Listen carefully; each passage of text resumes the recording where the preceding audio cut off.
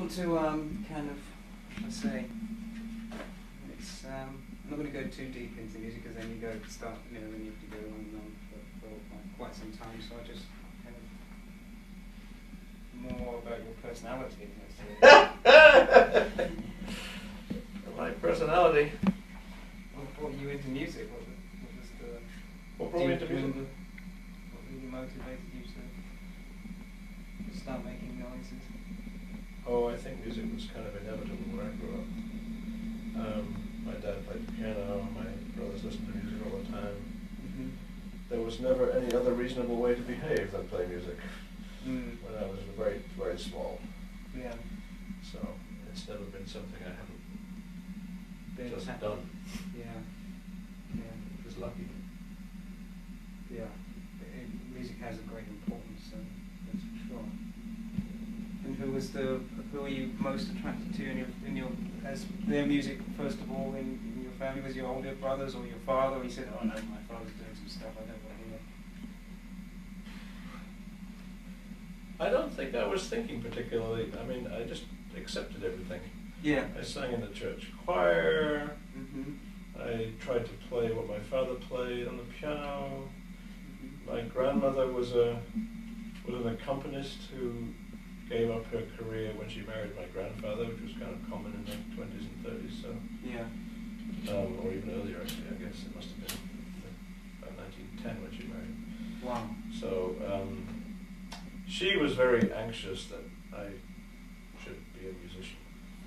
And I didn't know that ever because she died when I was quite young, but I found it out from my mother much later that she was the one who uh, And in- it pushed. insisted that I have lessons when I was five.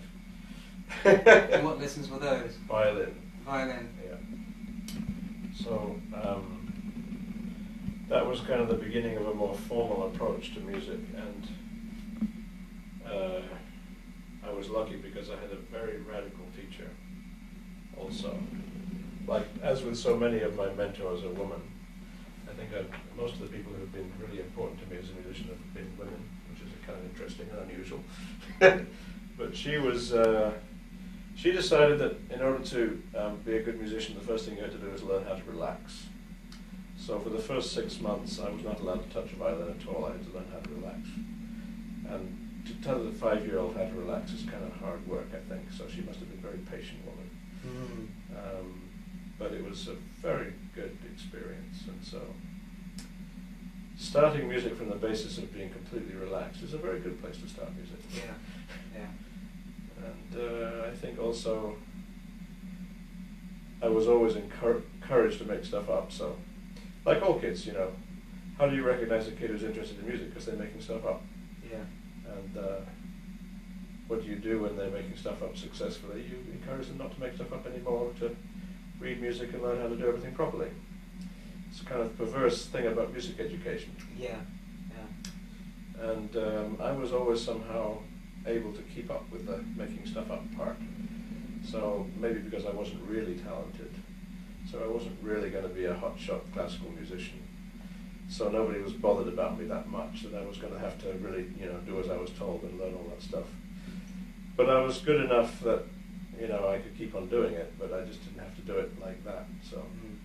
I, I think I've been in a very good position. Would you have liked to have gone into classical or I don't think so. I think my parents probably would have liked it. Mm. at the time because they didn't think about anything else. So I guess the idea was that I would become a good classical musician, which my father was and my older brother is. But um, it was not the highest thing on my priority list. I have to admit. Yeah. what did appeal to you at that time? You said, do, you- do you know? Do you remember?